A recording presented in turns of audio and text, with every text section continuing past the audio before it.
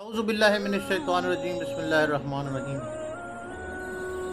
सैदना उस्मान गनी रज़ी तु अब्दुलरहमान बिन समरा रज़ी तु कहते हैं, उस्मान रज़ी तु नबी अकरम वसल्लम के पास एक दिनार, हज़ार दिनार लेकर आए।